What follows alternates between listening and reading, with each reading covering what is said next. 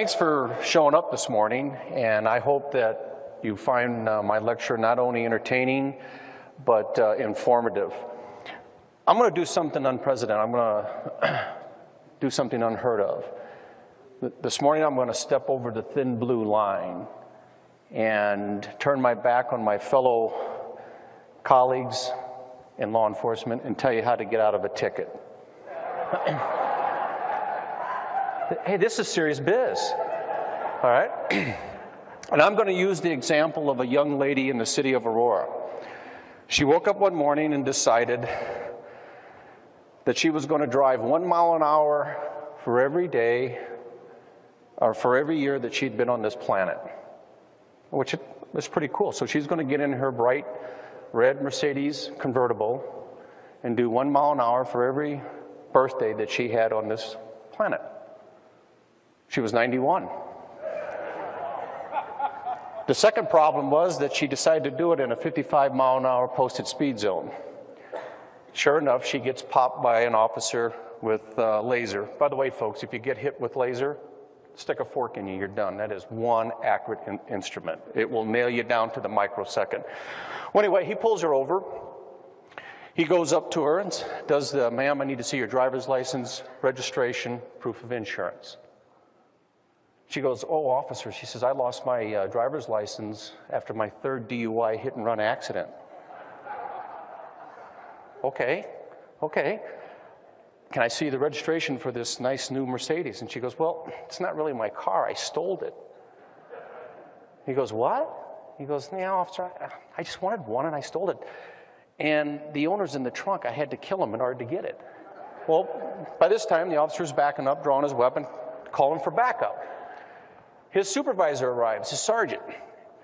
Says, What's going on? He tells him, says, Hey, she doesn't have a driver's license, three DUI hit and run accidents, not her car, it's stolen.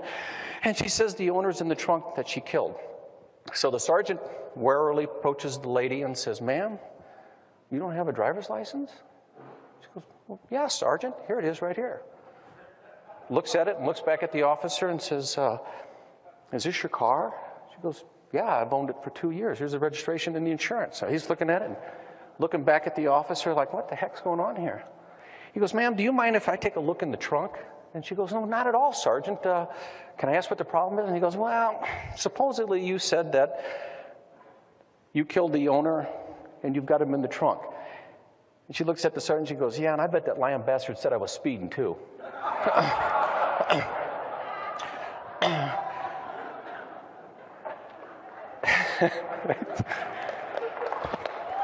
hey, try it. If you get away with it, let me know. Cops and flying saucers. Law enforcement's been involved in the UFO problem probably as long, if not longer, before the Air Force and the government was involved in it because that's the one agency that people can contact, the one government agency that people can contact and not only will we answer the phone, but we'll send somebody out to talk to you. There are several good examples of cops involved with flying saucers, and I'm, if you followed this phenomena or this problem, I'm sure you're aware of it. Lonnie Zamora was a police officer down in New Mexico. Excellent case. I think Ted Phillips worked on that case. Uh, Val Johnson uh, was another officer up in uh, Warren, Minnesota, I believe it was. Uh, his encounter ruined his career. And that brings me to another point. This, for a law enforcement officer, and myself included, this is not a career enhancing problem. If you're unlucky enough to have an encounter, or you get dispatched to an encounter, it can literally ruin your career. And there have been several instances where officers have been forced to re- either retire or resign from the profession because of what happened to him.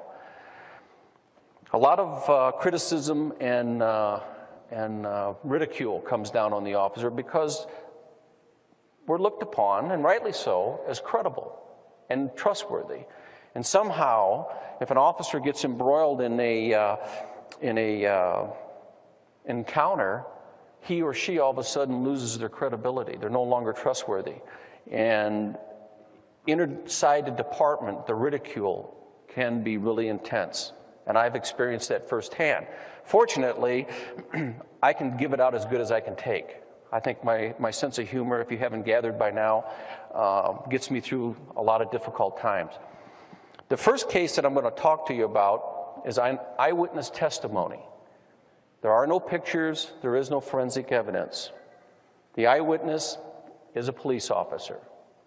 Now, skeptics will tell you, are they quick to point out that eyewitness testimony is unreliable? And I'm here to tell you that's a bunch of crap. Now, they, eyewitnesses may make mistakes. They may be inaccurate in certain details. They may not even be able to pick out the suspect in a photo lineup. But the fact remains that something very, they witnessed something very traumatic, and certain details are accurate. And it's a starting point for an investigator. You have an eyewitness to an event. Tom Bobay was a Jefferson County Sheriff's deputy when I joined the Sheriff's Department back in 1978. He had been a Sheriff's deputy for a number of years before I got there. In fact, he became my training officer. Um, I had not met him prior to. He ended up being a very good friend of mine. In fact, he was best man at my wedding. So that tells you how the relationship progressed over the years. The story that I'm about to relate to you took me three years to get the story out of him because he endured some incredible ridicule. In fact, he was threatened with his job by the sheriff, who at that time was Harold Bray of Jefferson County, Colorado. My interest in the UFO problem, I was involved in it long before I became a law enforcement officer. So that first day that I arrived, and I was a rookie, as they refer to as a newbie, and I was assigned to Deputy Bobay uh, as his trainee. Never met the man before in my life. Now, let me give you some background on, on him so you get a feel for his personality. Tom was a rodeo. He was a cowboy. He, he rode the PRC in his uh, off duty hours. He rode bulls. In fact, that gentleman convinced me that I needed to climb up on a bull. And I did for 1.5 seconds. but he did that on his on his off time. Now, if you know anything about cowboys and rodeo riders, they're a very conservative lot. Cops in general are very conservative. We're not very liberal minded and we hate change. And so Tom was not one to give to fantasy. He was a person that there were nights when I when he was training me, he maybe had said 100 words in a 12 hour shift. And keep in mind, I spent more time with him than I did with my wife. We were working 70, maybe 80 hours a week for the sheriff's department, 12 hour shifts. So I spent a lot of time with him. It took me three years to get this story out of him. First day that I showed up as a trainee, the other deputies were in the squad room. I get introduced to Tom. And right away, there were some snide remarks. Hey, Tom, you going to show them what the aliens look like? And you could just see the red come up on his face. Well, we got in the car, and I'm thinking, you know, I'm going to ask him. And I did. And he looked over at me and he goes, Newbie, don't talk to me, I'll talk to you. And we are not going to discuss this. And we didn't for three years. Three years I worked with this man. He never said a word what happened. Then one morning we were sitting up at Lookout Mountain, excuse me, and we were talking what guys usually talk about girls, horses. Okay, girls. And out, of, out of the blue, he looked over at me and we were parked. I'm sure you've seen cops, they park, we, we call it heel to toe. And that's how we were parked up on Lookout Mountain. It was about 5.30 in the morning. He was sipping on his uh, coffee and he finally took the chew out of his mouth and spit it out the window and he looked at me and he goes, You know, I, I saw him. I looked and I go, You saw what? And he goes, I saw the beans. He goes, I never said anything to the Air Force or the sheriff about it. And here's the story. One evening, Tom gets a call from the dispatch. Says, You need to go to a ranch up, up off of Windy Point 285. For those that are not familiar with it, that's in Jefferson County. If you go up 285 now, it's a four lane highway, and there's a sign there that says Windy Point. Well, the ranch was located up in that area. Dispatcher tells Tom, ranchers, and by the way, this predates 911. Jefferson County didn't have 911 back then. But the, uh, but the rancher had called the sheriff's dispatcher and says, Hey, I need a deputy up here right now because someone's trying to steal my horse and burn the barn down, and I'm shooting at him. Now, that's how the call came out. Sounds serious. So Tom gets up there to the rancher, and the rancher tells him, I, I think it was a helicopter. But uh, they were shining the light down on the barn, and one of the horses ran out of the barn, and they were trying to get my horse in the corral.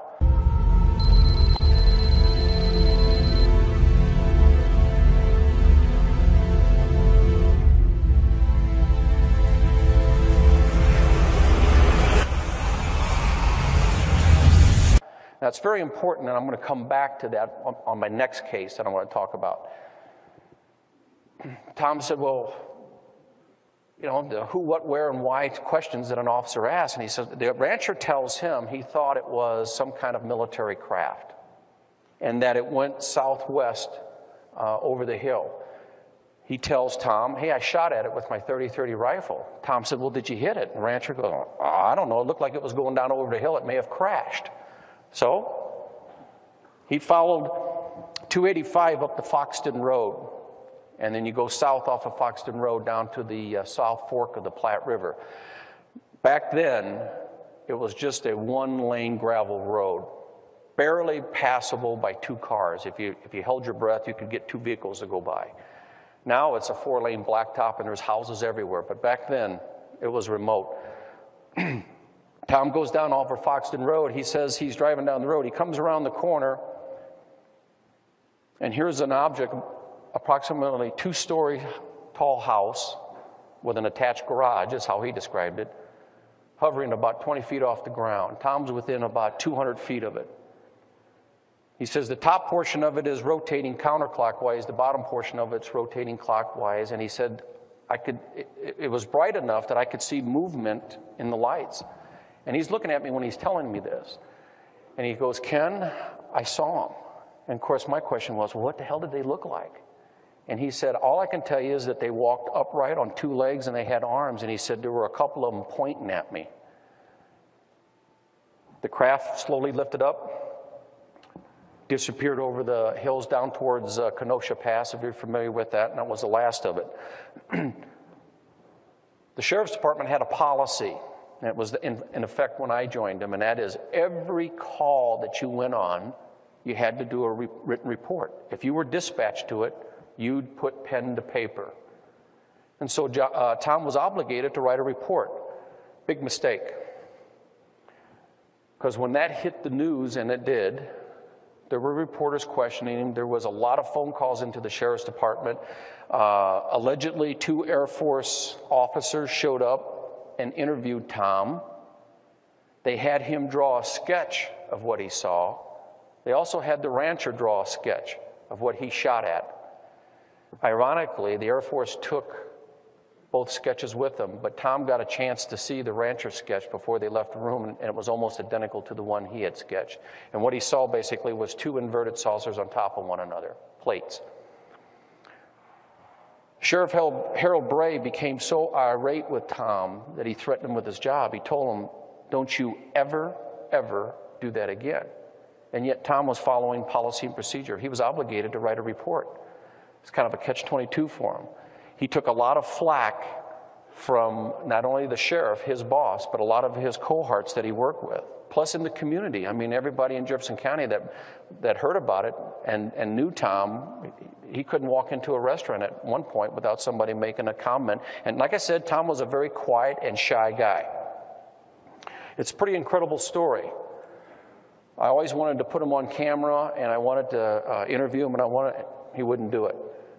He said if he ever saw another object like that again in his life, he'll take it to his grave. He's not going to say a word just because of the stress that he went through. And it was obvious when he was telling the story that he was still under stress. It was very difficult for him to relate that to me, but we had become very close in three years, and he felt comfortable, and he knew that I wouldn't ridicule. the next case that I'm going to talk about, and I said I'd come back. Remember, I told you about that rancher? The, the craft was uh, shining a light down on the barn and was chasing one of his horses. When I heard that story, I didn't make the connection, but I think we had an eyewitness to, a, to an animal abduction. My partner, and he's here today, uh, today uh, with the conference, him and I went down to the San Luis Valley. Told you, Murphy's Law. This is my first PowerPoint presentation, so anything that can go wrong will go wrong, guaranteed. Um, we went down to the San Luis Valley. We took an expedition down there to gather information, to investigate cases, and we made contact with the sheriff down in Saguache County. And he said, Well, I've got a case for you that you boys might be interested in, and it's a cattle mutilation. The rancher, the night before, had checked his herd. And you'll see in the photographs that the cow has a tag in the ear, in the ear, excuse me. I believe it's H01. With his laptop, he could punch up that steer and tell you when it was born, the inoculation, and the state of health of that steer. Hey, ranching is a business. Ranchers depend on it. So this cattle mutilation problem is a serious problem for ranchers. You're going to look at an animal that was worth about $1,500. He checked on the herd that night. The next morning, oh, excuse me, that herd was about two and a half miles from the ranch house. The next morning, when the rancher walked out the door with his coffee in his hand, the steer was about 100 feet from his front doorstep. Now,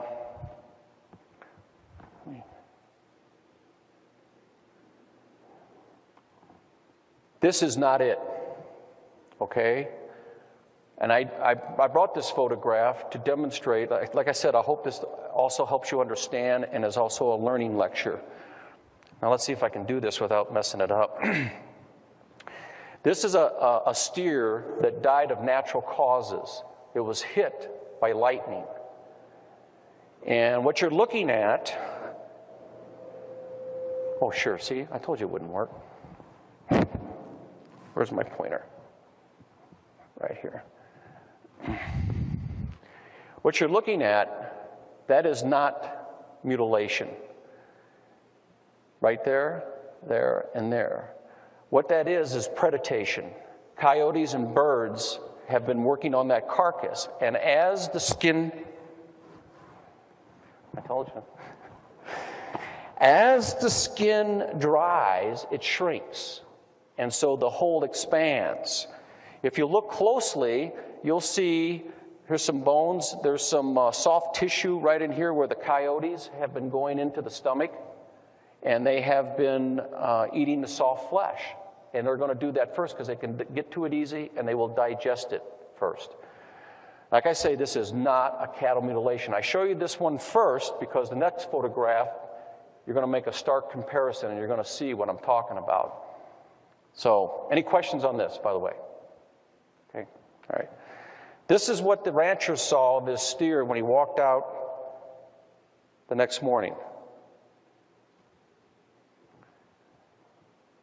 Now, there's a couple of things to point out in this particular case. First of all, there's the H01 that I was talking about. I want you to look closely at the cuts. By the way, can you tell that this is a fresh kill? Yeah, you can eat the meat on this. Okay, there's T-bones on here that are edible. This cow has probably been down for about five or six hours. Steer, excuse me. there are a couple of things that I need to point out to you. Is number one, if you'll notice, all around here, no blood. Now you're looking at a steer that's approximately anywhere between six and 800 pounds. Probably closer to about seven, 700, 750. They contain a lot of liquid. There's none on the ground. By the way, this is how it was found. Um, the night that the rancher went down and checked his herd, which was two and a half miles away, there was a lot of unidentified activity in the San Luis Valley. The rancher himself didn't see any of the uh, lights, but other ranchers had saw mysterious lights crisscrossing back and forth the, uh, across the uh, valley. And that's significant because this is what happened the next morning when he went outside. The other thing I want to point out to you is look at this cut.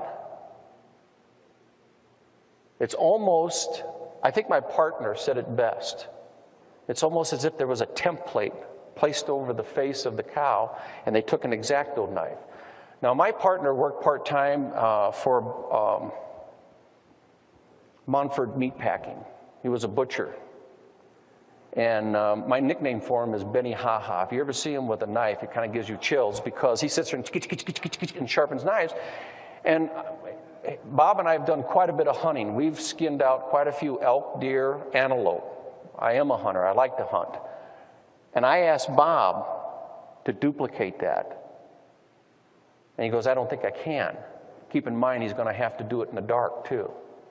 Now, if anybody's familiar with cattle, and you can try this on your own, drive out to a pasture, any herd, get out of your car and try to walk up to them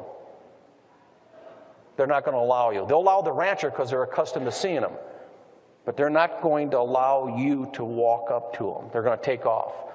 So the question becomes who or what was able to capture. This is a healthy animal, by the way. Can you see that? If you look at the fur, you can at the hide, you can see that this is a healthy animal, and you can tell that it's fresh. I got some more photos here, some close-ups that I think that'll illustrate that.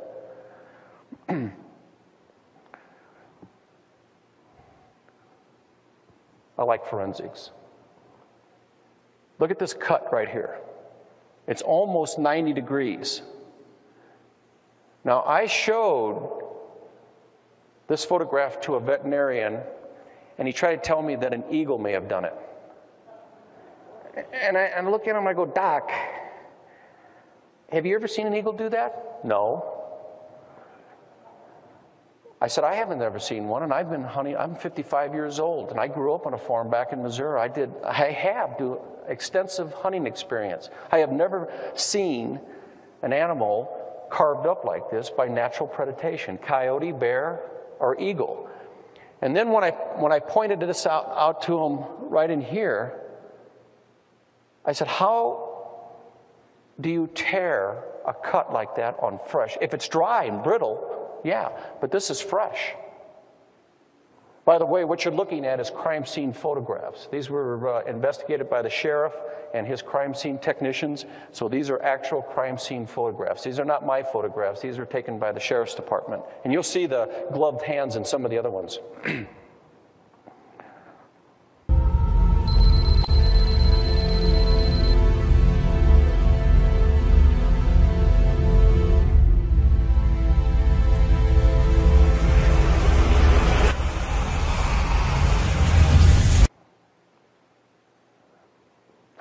and behold, they're the gloved hands.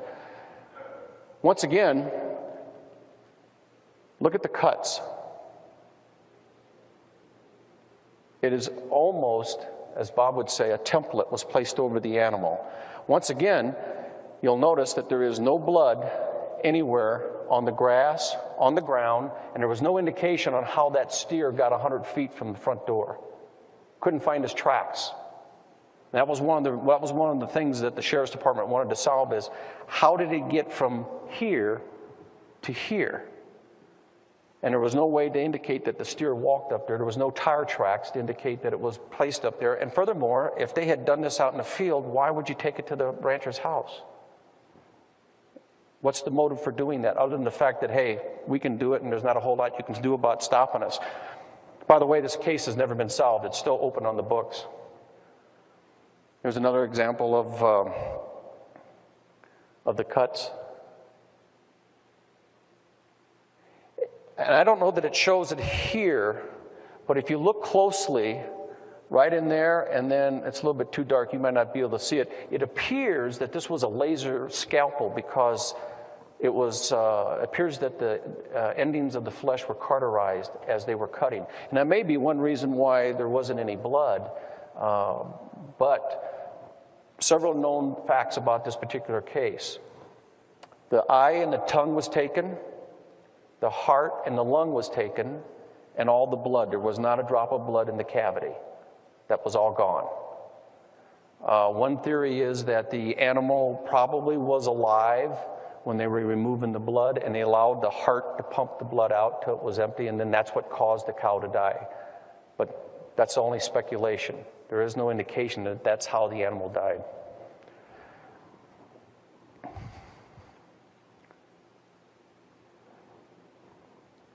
I think if you look closely, now this is when they, they, there's some grass that's stuck in here, and that's because they were rolling the animal back and forth trying to determine to find any bullet holes or anything like that. But uh, once again, I want to point to you these cuts. And by the way, if you, yeah, easy for me to work. If you look closely, there doesn't seem to be any hesitation on the cuts. It looks like it was one continuous carve. And anybody that's tried cutting a steak, try doing that at home. Try to make one continue. Try to try take a T-bone steak and try to make a circle in it. One continuous cut. Aside from the fact that you've got to have an extremely sharp knife, turn the lights out in your house and do it in the dark, because that's when this happened.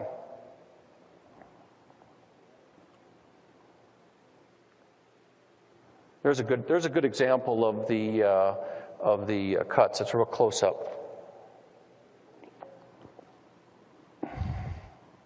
And I think you can see down here, there's an example of some cauterization that it's a possibility that this animal was alive when they were doing it because there was still a pulse and the, and the blood was going to start to come out through the capillaries under the skin and, and it was cauterized.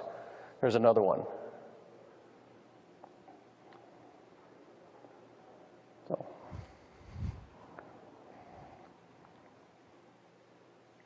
By the way, this rancher lost about $1,500 on this animal.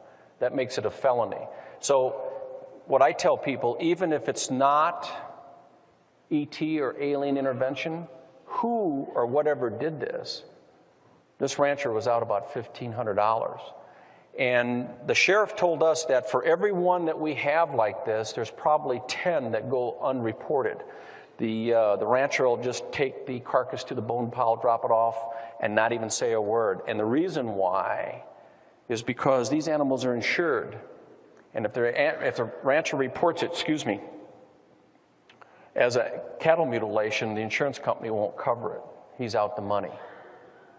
If, if he reports it as natural predation or an act of nature, then, then, the, then the insurance company will, will cover it. But if he reports it as being suspicious death in a cattle mute, he gets nothing. And we were fortunate that the, uh, that the rancher called the sheriff's department on this one, and we were able to and, uh, get investigated on it. But one out of 10, and I suspect it may be even higher than that. Because $1,500, I don't know about you, but out of, a, out of a rancher, especially in today's economy, that's important. And they're not going to report it.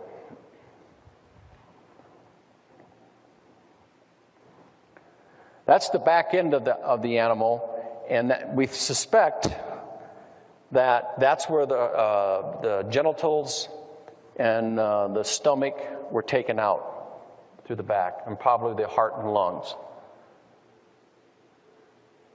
But like I said, you're talking probably an animal about 750 pounds, and it's a healthy animal.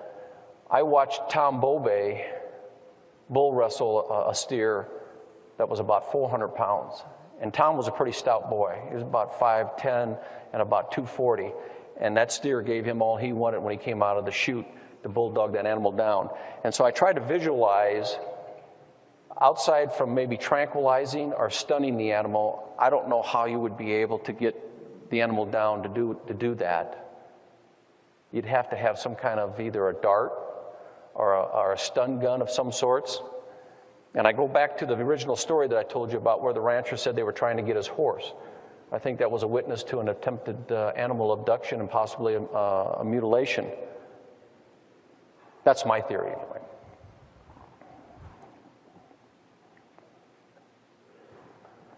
Now, remember the first one I showed you that was not an animal? It was natural predation, and the, and the carcass was dried up and, and was this animal here has been out in the, in the sun approximately the same length of time, about two and a half months. This is an animal mutilation. There's a couple of things I want to point out to you. Not only does it have the, this, by the way, this is not the same case. This is just a total different uh, cow, and you can tell that by the bleached bones here.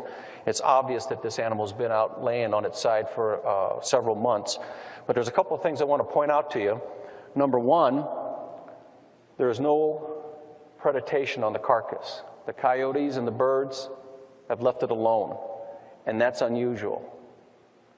Food's very scarce for these, uh, for these predators down in the San Luis Valley, and anytime they can get a chance to get a free meal on a dead uh, carcass, whether it's a roadside kill or, or a cow that's been hit by lightning or just died of old age, they're going to take advantage of it. You do not see any of the predation on the, on the carcass whatsoever. None. The coyotes, the eagles have left it alone. And there are no flies. Let me go back. Let's see if I can get this thing to work. I want to go back to this one picture here. Okay, easy for me to do. Murphy's Law. Well, I can use this one. Anybody that's been out in the woods and it's hunted knows that when you make a kill, when you shoot a deer or an elk or even a rabbit for that matter, Within minutes, flies are there. They have an uncanny smell. I heard from, uh, from uh, scientists one time that a, that a common housefly can smell flesh or rotting vegetables from like three or four hundred feet away. But there are no flies here, none on this carcass. Same thing is true with this one.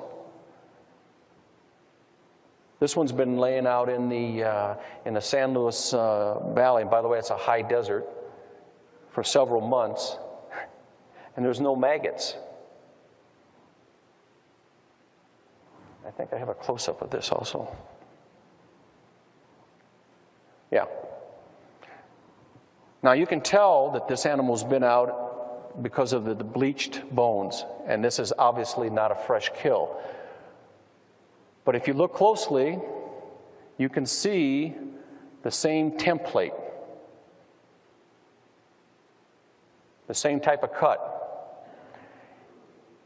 on the right side of the face, same as the, uh, same as the case that uh, Bob and I investigated. Uh, this uh,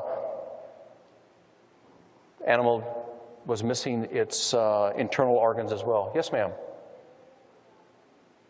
And this one here? Yes, ma'am. And they took the tongue in the other one too. Yes, correct. That is correct. Now, whether ET is responsible for this, a lot of people like to think that it's a government, that it's a private organization, that it's a cult that is doing this. Whomever or whatever is doing it, it's been going on for at least that I know of about 40 to 50 years, and I'm sure longer than that. And nobody has been identified as being the culprit, other than uh, coyotes and eagles. Coyotes and eagles are not doing this. Someone or something is, and they're very, very sophisticated. Okay. All right. Ah, yes, sir.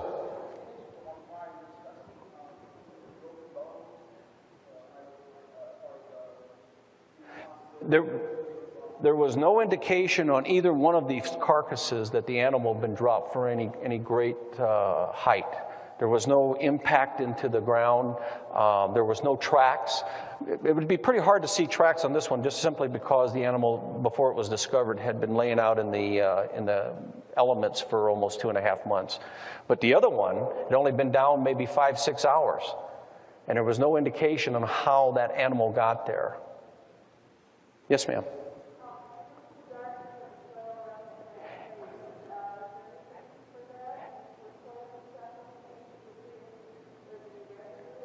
I should hook you up with my partner because he asked the exact same question that you just did.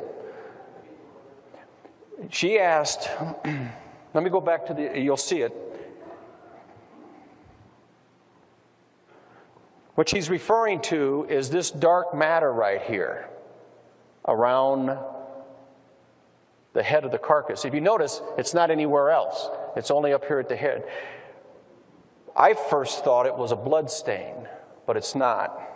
Blood will not stay there for two months out in the hot sun, uh, and uh, it, it, putrefies really quick. In fact, it's one of the first um, material to putrefy is blood, and it, it uh, disintegrates very, very rapidly. My, uh, my partner, Bob, asked the same question, and to this day, I do not have the answer for you. There's all kinds of speculation what that is, but uh, I can't tell you what it is. I think it's a stain, and to answer your second part of your question, no, there was no soil sample taken, and that's too bad, because there may have had some answers as to, uh, to what that is. Yes, sir.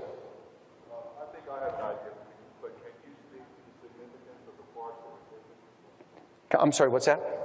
I can. you Speak about the significance of the park, I mean. I can speak to him, but it would be purely speculation on my part. He, he, said, Could I speak to the uh, significance of the parts that were taken in, in both cases? Uh, that would be speculation on my part. And, and although I like to theorize, theorize and speculate, um, I could be 180 degrees wrong. Not that I've ever been wrong before. Um, I'll tell you what my partner thinks, okay? And that way, if he's wrong, I can laugh at him.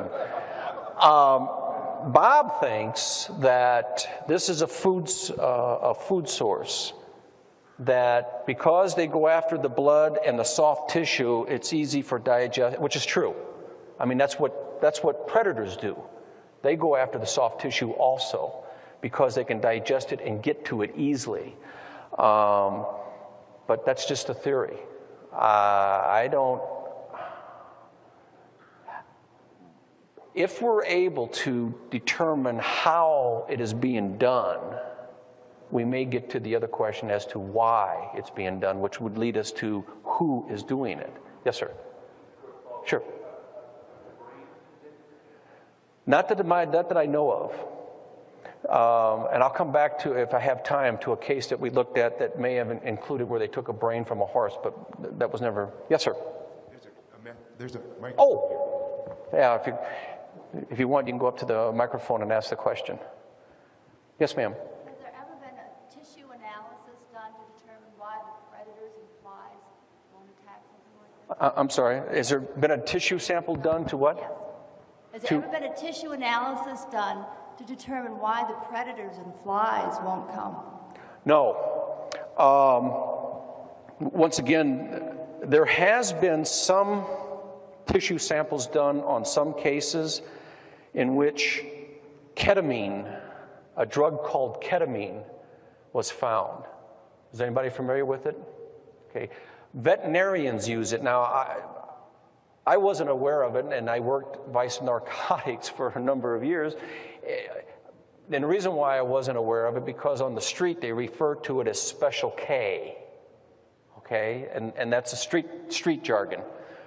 Um, veterinarians apparently like to use ketamine in an aerosol, and apparently, from my understanding, is that you can spray it into the muzzle of a horse or a cow and they stay conscious and they will stay standing upright while the veterinarian can administer them medications or do what they're going going to do. And there have been, in a couple of instances, where ketamine has been found in tissue. The problem is to do a necropsy, and that's what you're all talking about, is very, very, very, very expensive. And I told Bob we needed to do a necropsy on uh, the case before, and he told me to get my checkbook okay? Because you're probably looking at several thousand dollars doing necropsy.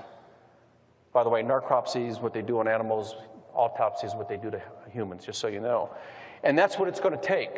And that's why it's important for you to support MUFON so that that type of research can answer those types of questions.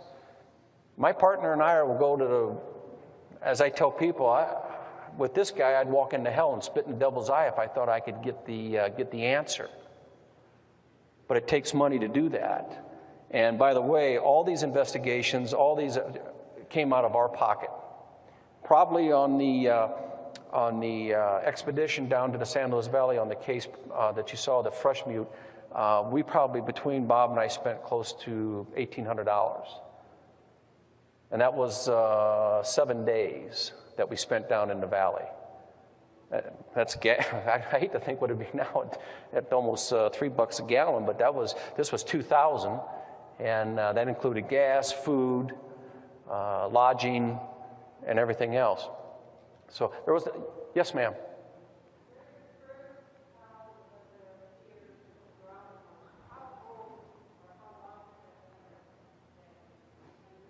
This one here? Oh, oh, the natural predation. Um, yeah, that one had been down for about two months. Yeah, uh, it had been struck by lightning, and, uh, and the steer had been down for about two months. And there was no hesitation on the part of the uh, coyotes and uh, rodents and stuff to attack the carcass. Absolutely. Yes, ma'am. Correct. Correct. Correct. Correct. Correct. second one laid out for a long time, yet nothing messed with it at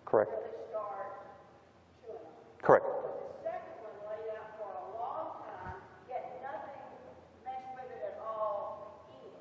Not at all.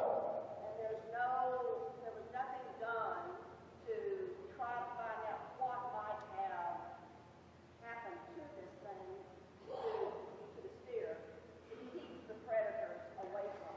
That would be strictly speculation. Okay, I- I have some thoughts on it. My, my thought is that there's some kind of chemical or some kind of electrolysis that's used, and predators, predators can sense that. And they know that. I, and the reason why I think that is that, yes, sir. Oh, I've requested that you go to the mics because other people in the back can hear the questions. Uh, Um, I I work, in my profession, I work very closely with the Division of Wildlife on certain cases. And uh, when I was at the Sheriff's Department, there was a problem with, and there still is, with uh, coyotes uh, in the county uh, because uh, they, you, you get a pair of coyotes one week, and then and the next month you've got five, then you got 10, then you got 15, you got 20, and so you can see how they, the, the pack grows. And the problem is, is that poison is a, is a common way of getting rid of coyotes, but the problem is, is that once you start using poison, the coyote senses it. Hey, Fred's not with us this morning, and uh, oh, he must have had some bad meat last night. They stay away from it. It'll work for a very short time, and you may get a couple of the coyotes, but the main core of that pack will survive because they instantly know that something's not right and they will stay away from the bait. I've watched this over and over again. There will not be any tracks in the snow around the bait where you put out the poison because they know. So, my theory, and strictly theory, is that some kind of electrolysis or chemical is used to incapacitate the cow that allows the whoever to get close to it and to do this. But that is strictly speculation on my part. That I, I, I could be wrong. My question is kind of along the same line, but um, I think normally predators or insects are drawn to odor. You know, it's, it's more of a smell thing for them. And so I was wondering if you had noticed a strange odor around the animal or if it had the smell of death. If, if something that they used took all the blood away, then it may not have the smell of death and, and, the, and they wouldn't be attracted to it for that reason.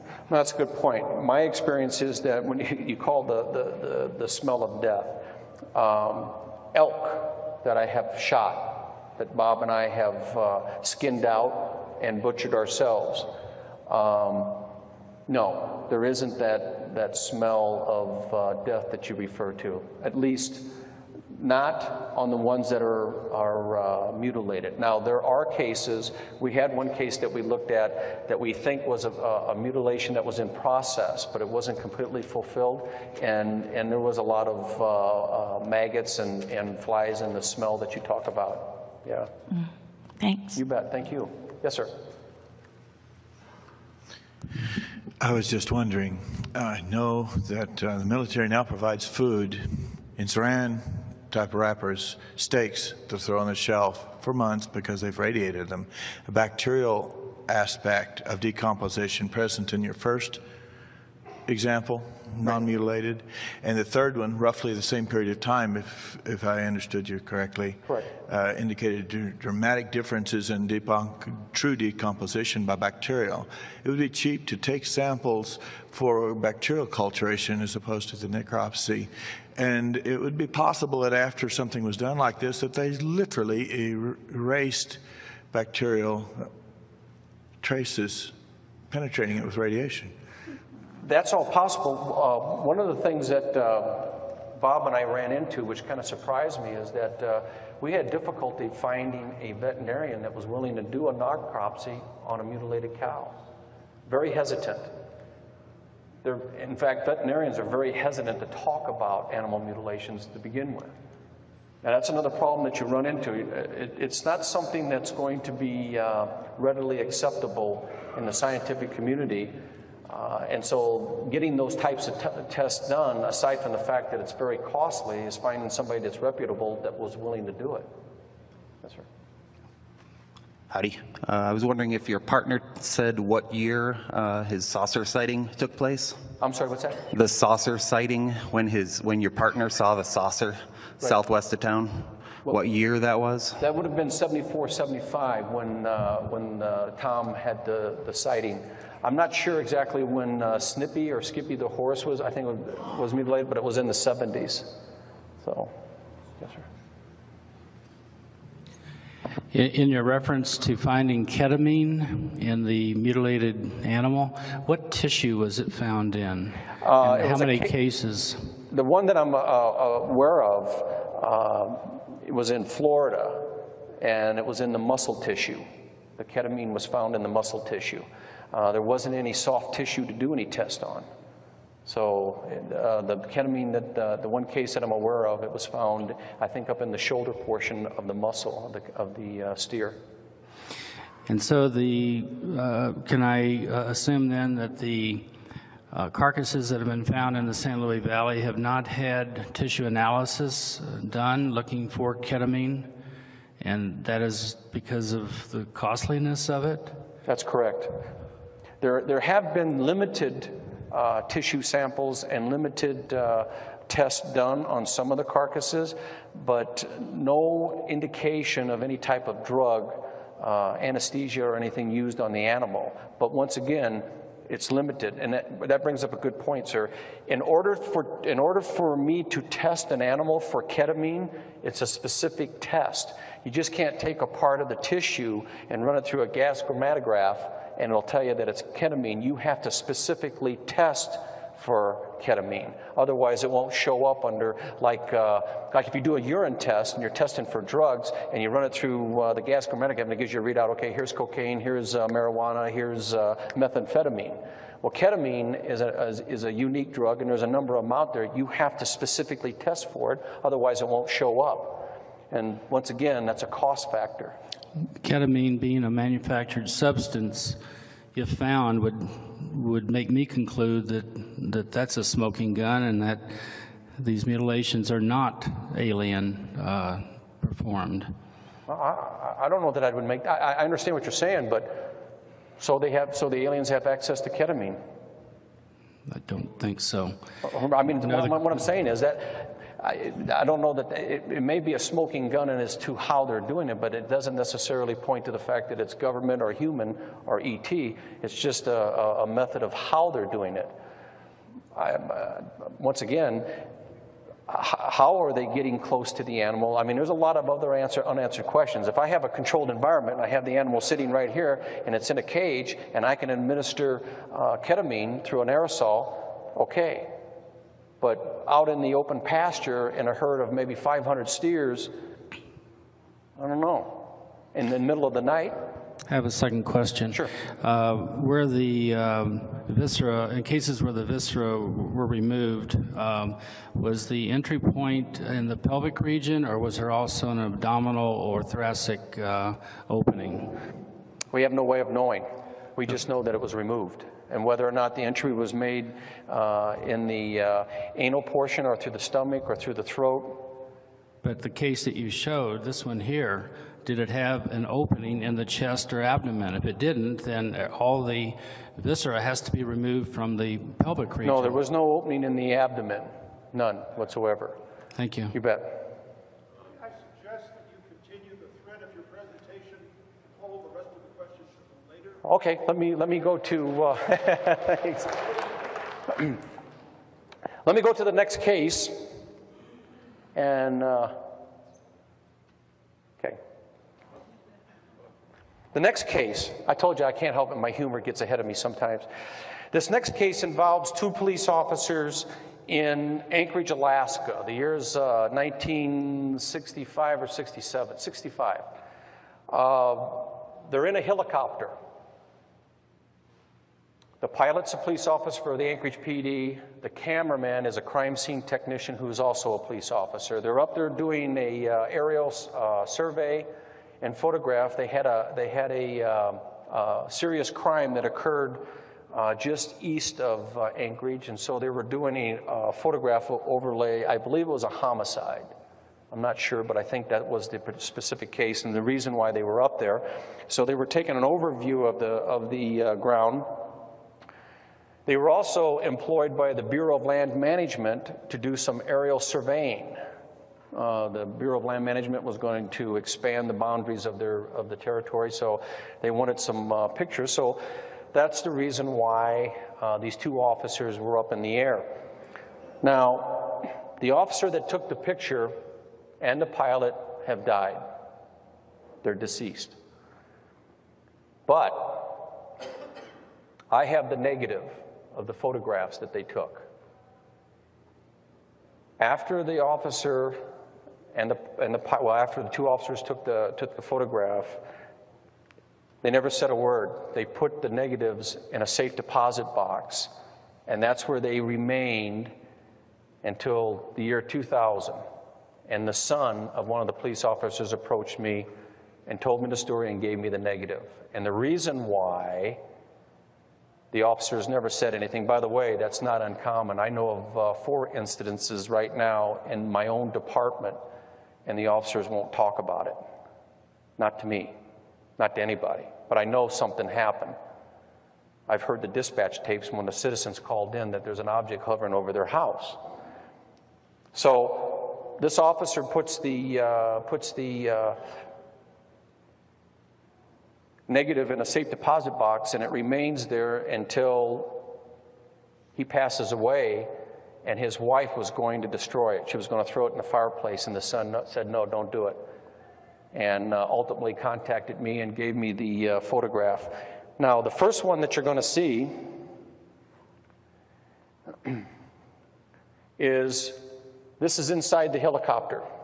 I believe this is the Yukon River just east of uh, Anchorage and this is the windscreen of the chopper. Uh, this object here, I had the uh, uh, negative looked at professionally, and it's estimated that this object right here is five miles from the lens camera. All right? Now, we're able, we're able to determine that the helicopter is approximately 1,500 feet in the air, and that's because we're able to all right. Told you, Murphy's Law. Um, the size of the trees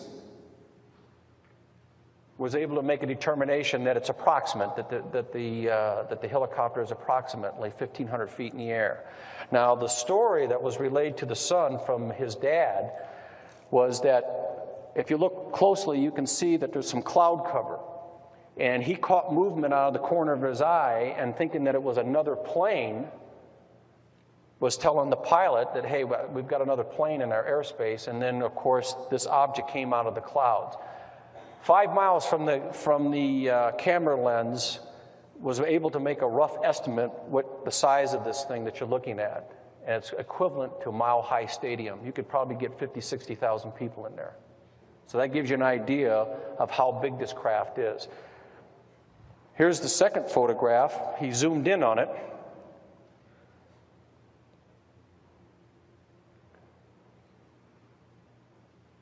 That's the second photograph that he snapped before the object disappeared. Now, I've had numerous people look at this under a magnifying glass and they go, oh, that's a bolt with a washer through it. Okay, it, it may look like that to you, but this officer, and that's probably one of the reasons why he put it in the safe deposit box, because he didn't want to go down that road and have to stand tall in front of people ridiculing him for something that he had no control over. But if you look closely, it's not a bolt or a washer. There's thickness to it. There's something up on top of it, but you can't really see what it is. I would like to take that negative and have it enlarged and looked at and analyzed scientifically, but once again, we're talking cost. And uh, the chief won't give me any special funding for it. But uh, this, uh, this case illustrates a couple of things. And number one is that when I got into researching and investigating this problem, there were certain career fields that I thought should be reporting that. One was pilots, and they do. One was ranchers, and they do. And the other one was law enforcement. And the reason why is because these career fields are the ones that are out and about every day. You're not going to be able to see an unidentified object sitting here in this auditorium. You have to be out in the field. I think it was NICAP did a study on, on uh, career fields, and law enforcement and pilots and ranchers were ranked right up there, and understandably so. And I think that's what also gives it credibility, this problem, is that these are the very people that you would expect to see something unusual, unidentified. And they are.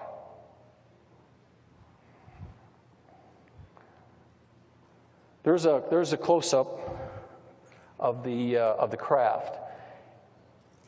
And like I said, if you look closely at the top, you can see that there's some kind of definition up there. I have no idea what that is, but it has thickness to it.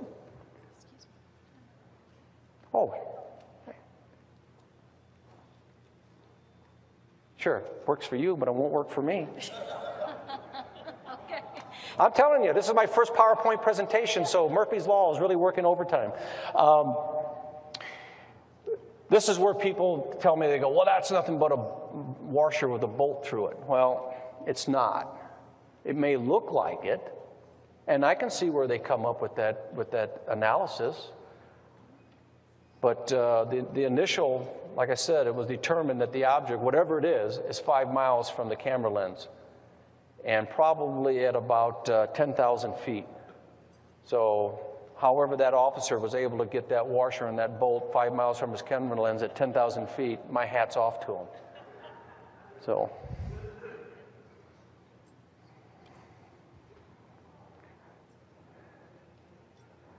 And I love this one. I like Far Side. I can't help it, but you know, it, it may be not too far from the truth. And that's the end of my presentation. I'm willing to entertain any uh, questions, comments, or whatsoever uh, concerning it. So thank you very much and uh, appreciate it. Thank you.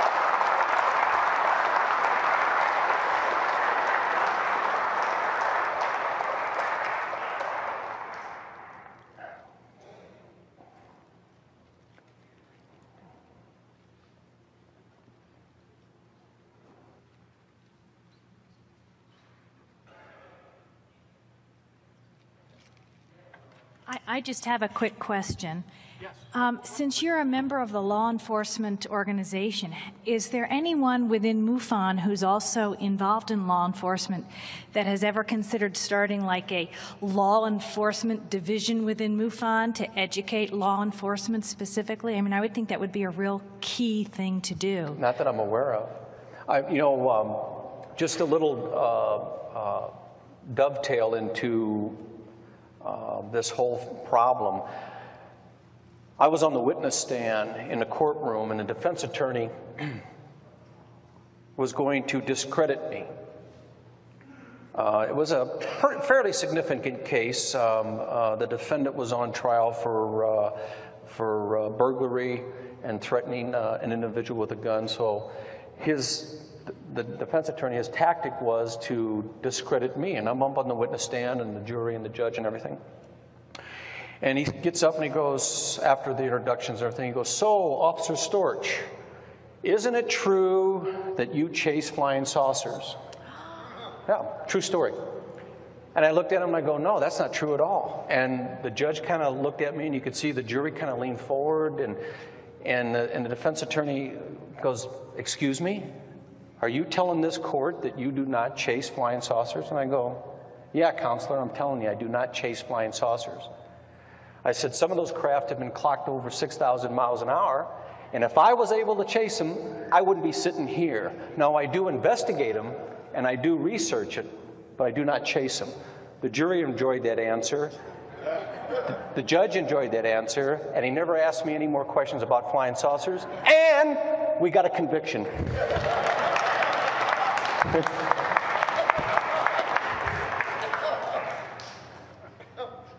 This is sort of a follow-up to the previous question. Uh, Richard Haines uh, runs the organization NARCAP that many of you have heard of, which uh, uh he specializes in pilots. Specializes in pilot reports. They take great pains of keeping confidential the reports to get from pilots, and I'm wondering if uh, if any if you've heard of anyone trying uh, a similar effort for law enforcement to you know protect their confidentiality. No, I haven't. Um, I probably receive somewhere in the neighborhood of 250, 300 emails a month from uh, law enforcement officers across the, from across the country and several from abroad, uh, a lot of them from England, uh, that are telling me about cases. And it's just, it, it, it, literally overwhelms me, and I, and I try to respond back to every one of them because some of them are very good cases, but there just isn't enough hours in the day or, or days in the week to, to stay up with that. Uh, but in answer to your question, no, not that I'm aware of. No, not at all. Thanks. Yes, could, could, you just give us uh, some idea of what the attitude within the law enforcement field is toward people like yourself that uh, are involved in research on UFOs? Is it like the general population in general, where there's maybe half the people who believe and you know 25% think you're crazy and et cetera? Is it? Is it uh... Oh, 25% don't think I'm crazy. They know I'm crazy. right. Um, to answer your question, I, I get a lot of ribbing, and, and 99% of it is in good nature. And I, am pretty thick skinned, so I can, I can take a, a, a, I like laughing at myself, so it entitles me to laugh at you. But um, some of it is pretty uh, sinister. I, uh, uh, one officer in particular accused me of doing the, uh, the devil's work, that, that I should stop what I'm doing immediately because I'll never get into heaven because, yeah. Um, and, I, and I just look at him going, well, okay, but I can't. I can't stop and I'm not going to. Most officers are pretty open minded. And I think that in order to be a good law enforcement officer, you have to be open minded. Being an objective skeptic, that's okay. I have no problem with that. I myself am an objective skeptic. But uh, I have an open mind, and I approach each and every case or call that I go on with an open mind. If you tell me that you've been robbed by three little green pigs and roller skates with squirt guns, I may chuckle, but I'm going to listen to your story and I'm going to take the report because who knows? Maybe that's exactly what happened. So. So, so, so in most cases, then it makes sense to contact an officer if you have seen a, a flying saucer. Oh, absolutely, absolutely. You bet. Yes, sir. Uh, I have a question for you about the work of uh, a physician, MD. I think his name is Anschulter. Uh, are you familiar with any of his writings? No, He's done tissue sample analysis a long time ago that I'm, and I don't know now what the status is, but somebody uh, among the speakers may be familiar with that uh, work. Maybe uh, Linda. I'd be real interested in hearing that. Yeah. Okay. Absolutely. Thanks. Thank you. Thanks. I appreciate it.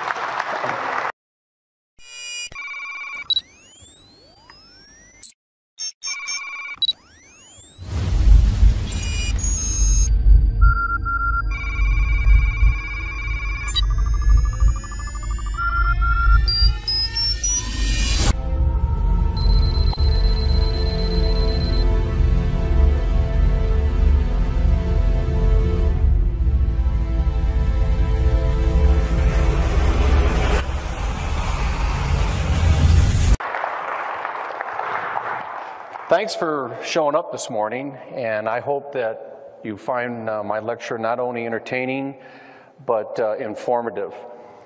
I'm going to do something unprecedented. I'm going to do something unheard of. This morning, I'm going to step over the thin blue line and turn my back on my fellow colleagues in law enforcement and tell you how to get out of a ticket. hey, this is serious biz. All right? and I'm going to use the example of a young lady in the city of Aurora.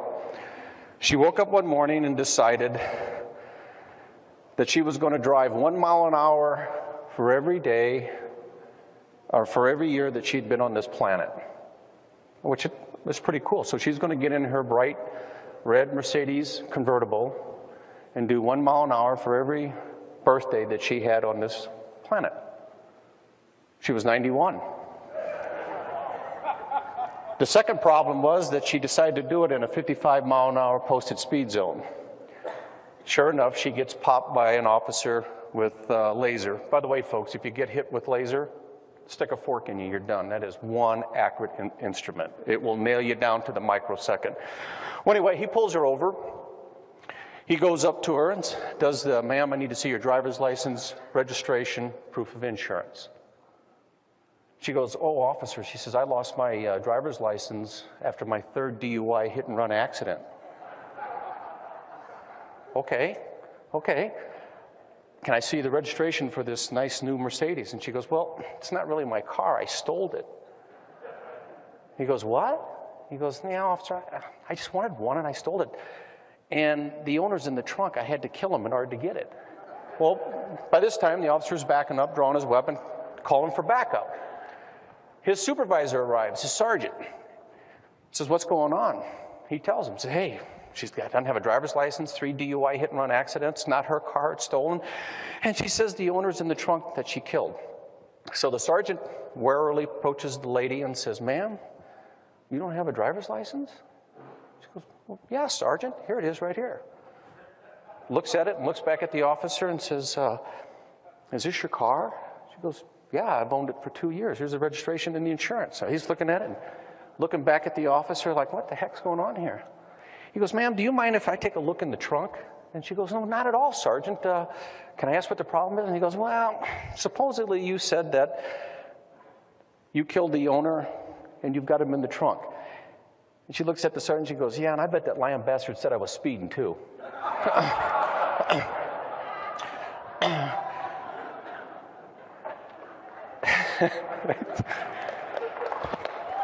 hey, try it. If you get away with it, let me know. Cops and flying saucers. Law enforcement's been involved in the UFO problem probably as long, if not longer, before the Air Force and the government was involved. Was a rodeo. He was a cowboy. He, he rode the PRC in his uh, off duty hours. He rode bulls. In fact, that gentleman convinced me that I needed to climb up on a bull. And I did for 1.5 seconds.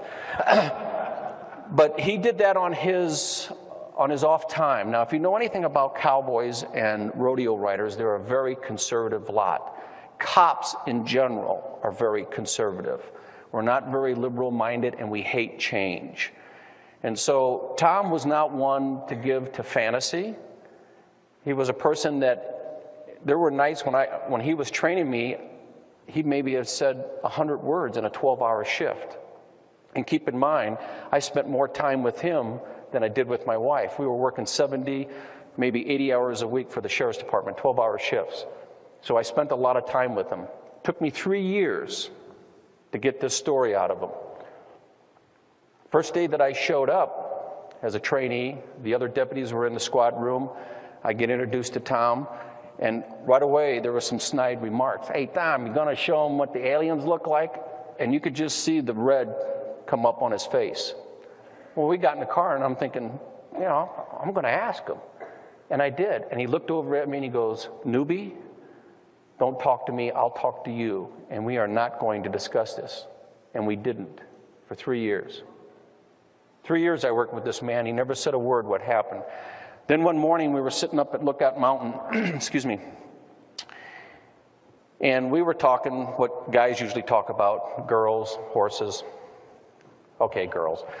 And out, of, out of the blue, he looked over at me and we were parked. I'm sure you've seen cops, they park, we, we call it heel to toe, as eyewitness testimony. There are no pictures, there is no forensic evidence. The eyewitness is a police officer. Now, skeptics will tell you, are they quick to point out that eyewitness testimony is unreliable. And I'm here to tell you that's a bunch of crap. Now, they, eyewitnesses may make mistakes.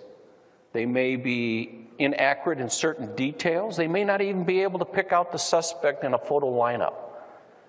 But the fact remains that something very, they witnessed something very traumatic, and certain details are accurate. And it's a starting point for an investigator. You have an eyewitness to an event. Tom Bobay was a Jefferson County Sheriff's deputy when I joined the Sheriff's Department back in 1978. He had been a Sheriff's deputy for a number of years before I got there. In fact, he became my training officer. Um, I had not met him prior to. He ended up being a very good friend of mine. In fact, he was best man at my wedding. So that tells you how the relationship progressed over the years. The story that I'm about to relate to you took me three years to get the story out of him because he endured some incredible ridicule. In fact, he was threatened with his job by the sheriff, who at that time was Harold Bray of Jefferson County, Colorado. My interest in the UFO problem, I was involved in it long before I became a law enforcement officer. So that first day that I arrived, and I was a rookie, as they refer to as a newbie, and I was assigned to Deputy Bobay uh, as his trainee. Never met the man before in my life. Now, let me give you some background on, on him so you get a feel for his personality. Tom, in it because that's the one agency that people can contact, the one government agency that people can contact. And not only will we answer the phone, but we'll send somebody out to talk to you. There are several good examples of cops involved with flying saucers, and I'm, if you followed this phenomena or this problem, I'm sure you're aware of it. Lonnie Zamora was a police officer down in New Mexico. Excellent case. I think Ted Phillips worked on that case. Uh, Val Johnson uh, was another officer up in uh, Warren, Minnesota, I believe it was. Uh, his encounter ruined his career. And that brings me to another point.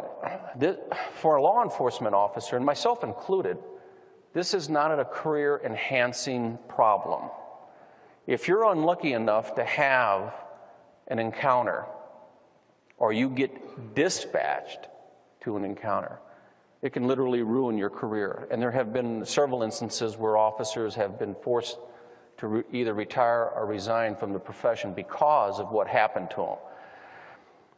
A lot of uh, criticism and, uh, and uh, ridicule comes down on the officer because we're looked upon, and rightly so, as credible and trustworthy. And somehow, if an officer gets embroiled in a, uh, in a uh, encounter, he or she all of a sudden loses their credibility. They're no longer trustworthy.